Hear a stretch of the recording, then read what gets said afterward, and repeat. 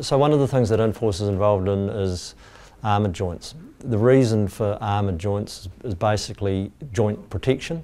So um, especially in facilities where there's um, small, hard, hard tired traffic, um, joint edges tend to spall and get damaged, whereas um, you armour them, um, that takes away that degrading and minimises maintenance. This joint here is what we call AR 4010, so the, the 40 being here, the 10 being the width of the edge.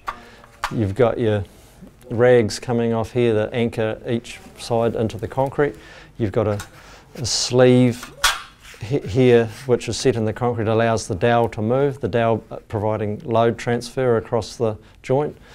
And then you've got this bottom plate which um, makes the joint suitable for full depth separation for uh, 150 millimetre slabs right up to 200 millimetre slabs.